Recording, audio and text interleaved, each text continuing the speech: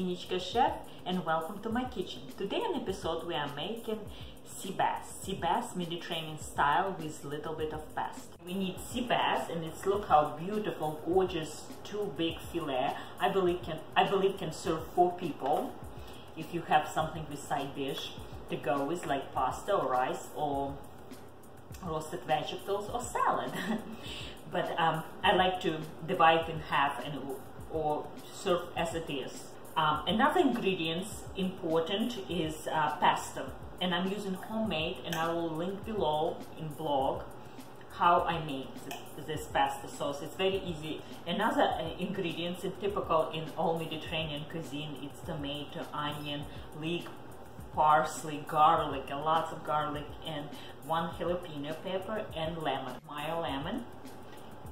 Also peas, frozen peas, and cherry tomatoes. That's it about olive oil, black pepper, salt, and a little bit of white wine. That's all we need. This dish comes together in no time and it's pretty healthy. It's not fried, it's baked, slightly different um, than typical bass you would find in restaurant baked in butter.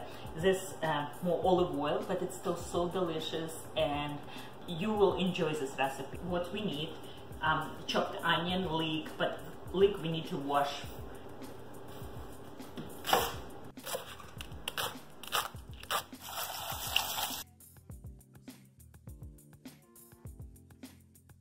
I'm crying from my Nice thing about this dish, you can do all prep ahead of time and just put together for dinner um, or for your guests. It's pretty nice and elegant dish in the last minute, so it's very easy.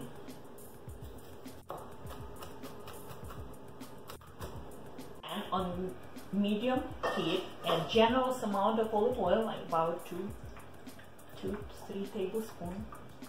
I like to add like one teasp teaspoon of fennel seeds.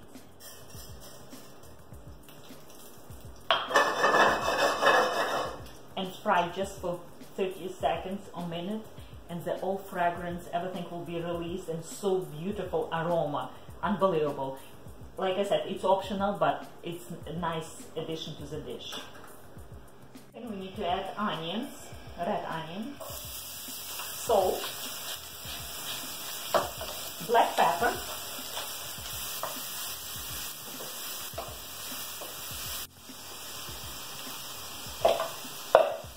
and cook for another two minutes.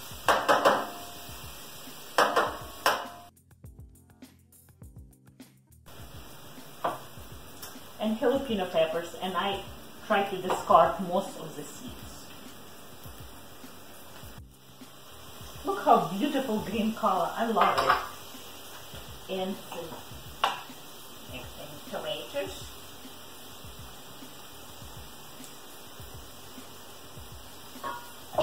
I love to use cherry tomatoes for this recipe because it's so sweet and um, just gives better flavor. You can use easily canned tomatoes, but I really prefer cherry tomatoes.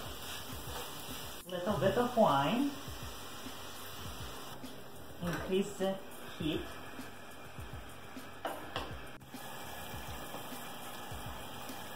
balance flavor.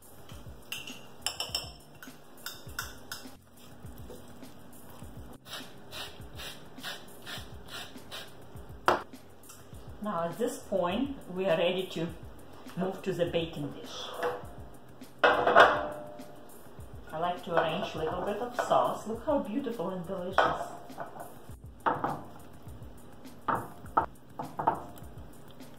We skin down and top with rest of